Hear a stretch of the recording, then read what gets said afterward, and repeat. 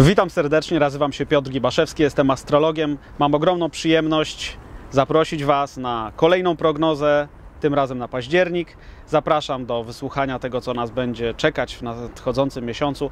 No, wiele się działo w ostatnich dniach, w ostatnich tygodniach. E, trzeba przyznać, że na świecie zapanowała panika, histeria, lęk przed przyszłością. Oczywiście ma to duży związek z sytuacją na rynkach finansowych, na giełdach, nad tym, co się wydarzyło. Przypominam, że e, w, e, właśnie we wrześniu na warszawskiej giełdzie spadki sięgnęły powyżej 10%, więc naprawdę zaczęło to wyglądać nieciekawie. Tak samo ze złotym, bardzo sytuacja się zaczęła komplikować, więc i w ogóle na świecie przyszłość świata, przyszłość świata, przyszłość gospodarki światowej zaczęła być coraz większym problemem. Co nas czeka? Czy zmierzamy ku kryzysowi? Analitycy finansowi, ekonomiści głowili się nad tym, czy kryzys światowy przybierze kształt litery L, ewentualnie U albo V. No i okazuje się, że od tego 2008 roku, kiedy kryzys miał miejsce, rysuje się nam litera w kształcie W. I ten rok, 2011, który numerologicznie jest czwórką, a więc liczbą związaną z materią, kryzysem, ograniczeniami i cierpieniem, nic dziwnego, że przyniósł kolejną falę spadków. No właśnie, co nas czeka?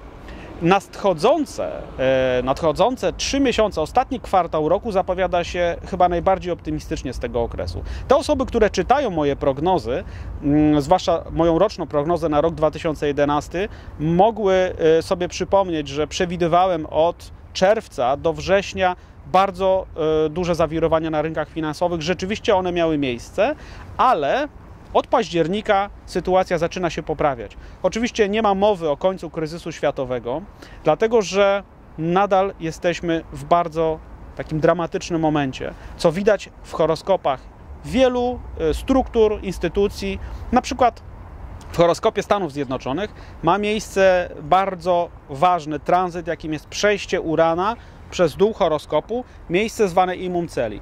Po raz kolejny Uran będzie przechodził w październiku przez dół horoskopu Stanów Zjednoczonych, co niewątpliwie ma ogromne konsekwencje, ogromne znaczenie, jeżeli chodzi o e, przyszłość stabilności ekonomicznej e, USA, no oczywiście całego świata również. No niewątpliwie jest to problem dla całego świata.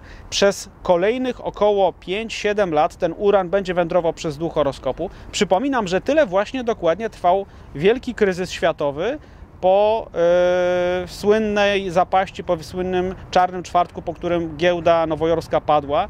No i te 7 lat, czyli cykl Urana, tyle będzie trwało wyjście Stanów Zjednoczonych z kryzysu, ale pewne symptomy poprawy będziemy już widzieć no, nawet już w tym, w tym roku, w tych ostatnich kwartałach. Przyszły rok zapowiada się chyba jednak dużo ciekawiej, dużo, dużo bardziej rozwojowo, dużo więcej będzie niósł optymizmu niż obecny, który jest raczej niezbyt ciekawy. Co nas czeka w październiku? Generalnie jest to miesiąc, w którym mamy do czynienia z niewielką ilością jakichś bardzo trudnych, dramatycznych konfiguracji. Przede wszystkim 3 października kwadratura Marsa do Jowisza będzie miała pewne konsekwencje, jeżeli chodzi o rynki finansowe. Mars jest w lwie, Jowisz w byku, czyli Jowisz jest w byku, czyli w znaku finansów, pieniędzy. Kwadratura, ostra kwadratura Marsa do Jowisza na pewno przyniesie zawirowania jakieś, dalszy ciąg tego, co się dzieje w Europie, w Grecji, w Stanach ale nie będzie to zbyt długi e, jakiś taki moment napięciowy. Bardziej dramatycznie sytuacja zapowiada się w okolicach 12 października, gdzie pełnia Księżyca utworzy opozycję do Saturna.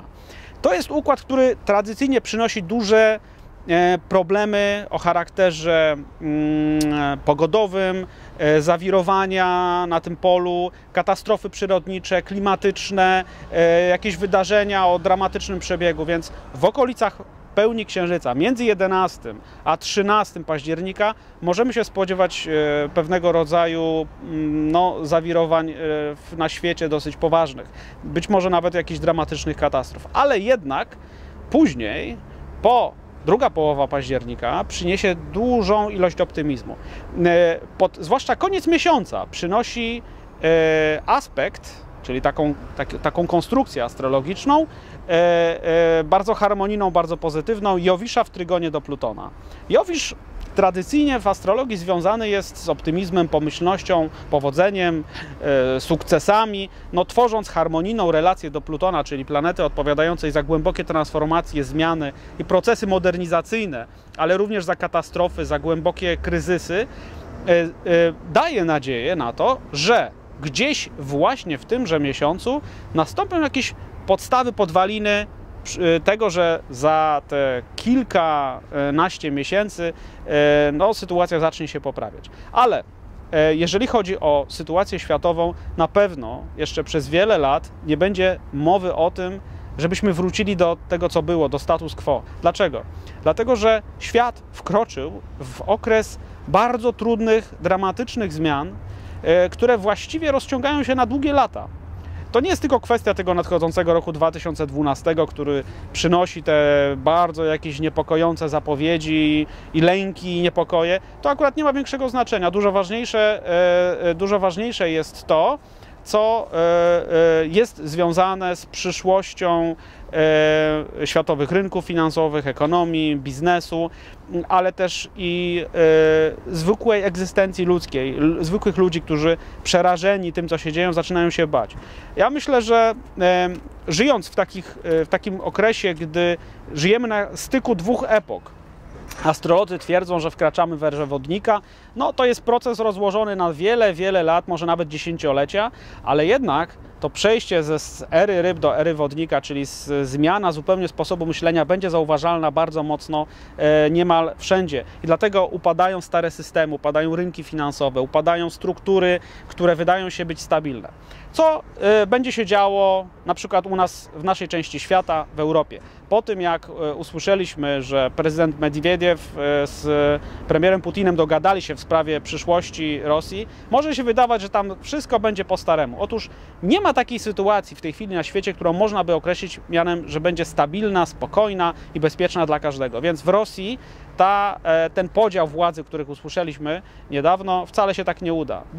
E, kraj ten czekają duże e, zamieszania, niepokoje i problemy, które spowodują, że wszelkie taktyki, wszelkie takie długofalowe próby E, jakby zabezpieczenia swojej sytuacji na pewno się nie udadzą. E, w Europie mamy spore e, zawirowania dotyczące przyszłości Unii Europejskiej z pewnymi jakby falami E, to jest tak, że Unia Europejska przetrwa. Ona przetrwa w jakiejś tam formie, którą gdzieś tam można było powiedzieć, że z założenia e, jej korzenie tkwią, ale w obecnej formie na pewno nie będzie istnieć. Tak samo euro, waluta europejska też e, straci tę swoją rolę, którą w tej chwili pełni, ale to nie oznacza końca Unii Europejskiej. Paradoksalnie, kraje skupione wokół Polski, w nowi członkowie Unii Europejskiej będą bardziej zainteresowani e, odbudowaniem siły Unii Europejskiej niż stary członkowie. I to będziemy w nadchodzących latach widzieć. Co w Polsce? Co nas czeka e, w październiku? Oczywiście wybory, e, ale nie będzie jakiejś wielkiej niespodzianki. Prawdopodobnie wygra Platforma Obywatelska. Natomiast ważniejszą rzeczą tak naprawdę jest sytuacja gospodarcza. Czy Polsce coś grozi? Czy Polska jest zagrożona kryzysem?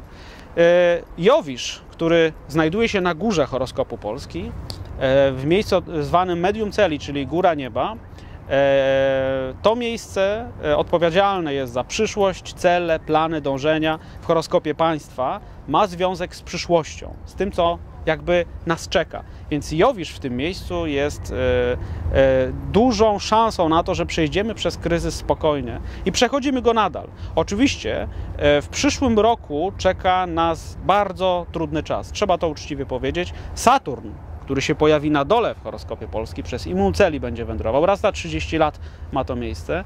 E, niewątpliwie przyniesie duże problemy i zawirowania, ale Jowisz będący jednocześnie na górze powoduje jakby taką stabilizację, czyli na dole mamy kryzys, na górze mamy ochronę.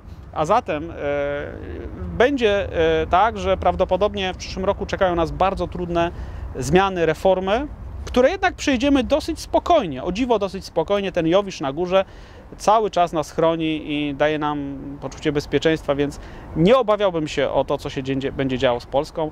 E, mam nadzieję, że e, uspokoiłem Was, bo naprawdę e, jest tak dużo strachów wokół nas, tak dużo powodów do lęku, więc mam nadzieję, że z optymizmem będziemy patrzeć w przyszłość. Dziękuję bardzo i zapraszam do następnej, kolejnej prognozy już za miesiąc. Dziękuję bardzo.